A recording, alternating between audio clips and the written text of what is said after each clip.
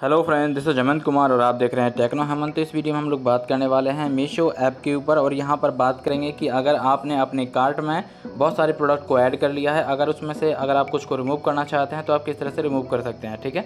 तो यहाँ पर आप देख सकते हैं कि ये मीशो मोबाइल एप्लीकेशन है तो इसको मैं ओपन कर लेता हूँ, इसको मैंने ओपन किया। तो यहाँ पर आप देख सकते हैं कि आपको होम में कुछ इस तरह से पेज दिखेगा, ठीक है?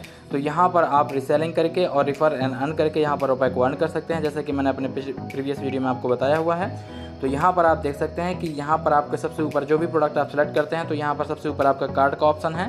तो यहाँ पर आपके कार्ड में ये सारे प्रोडक्ट ऐड हो जाते हैं, ठीक है? लेकिन बाद में आप कुछ प्रोडक्ट को रिमूव करना चाहते हैं तो आप किस तरह से रिमूव कर सकते हैं? तो यहाँ पर आपका कार्ड दिया हो तो आपको कार्ड पर क्लिक करना है। क्लिक करने के बाद आप देख सकते हैं कि यहाँ पर ये वाला जो वोमेंट का प्रिंटेड टी शर्ट दिया हुआ, ये एक क्वांटिटी है, ये आपका मेंस का क्वांटिटी एक दिया हुआ है, और यहाँ पर आपका ये जो गर्ल्स का टी शर्ट है, ये फाइव क्वांटिटी है, और यहाँ पर आपका मैन का टी शर्ट है, ये एक क्वांटिटी है। अब यहाँ पर जैसे कि दिया हुआ है ये कि, ये हमारा मैंने फाइव क्वांटिटी यहाँ पर सेलेक्ट किया हुआ है। यहाँ पर नंबर ऑफ़ क्वांटिटी मैं रिड्यूस करना चाहता हूँ तो कैसे कर पाऊँगा?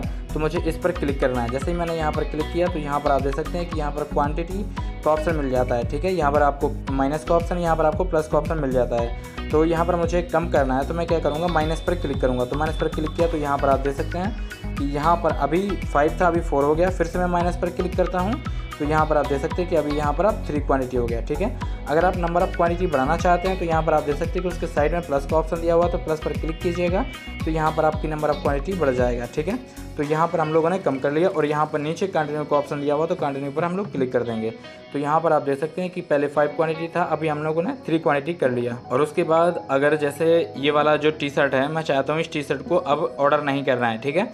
तो मैं इसको डिलीट करना चाहता हूँ तो मैं क्या करूँगा, इस पर मैं क्लिक करूँगा। क्लिक करूँगा तो यहाँ पर आप देख सकते हैं कि यहाँ पर आपको ऑप्शन मिल जाता है। एक तो ये क्वांटिटी एक सिलेक्टेड है और यहाँ पर क्वांटिटी माइनस का ऑप्शन है, यहाँ पर प्लस का ऑप्शन है, ठीक है? और यहाँ पर आपको डायरेक्टली ही रिमूव का ऑप्शन मिल जाता है तो रिमूव पर क्लिक करके इसको रिमूव कर सकते हैं, ठीक है? तो मैंने रिमूव पर क्लिक किया तो यहाँ पर लिखा हुआ है कि जो आपका जो टी शर्ट है do you want to remove this product from card तो यस रिमूव पर आप क्लिक कर दीजिएगा तो यहाँ पर आपका रिमूव हो जाएगा। तो यहाँ पर आप देख सकते हैं कि वो जो हमारा प्रोडक्ट था, वो रिमूव हो चुका है, ठीक है?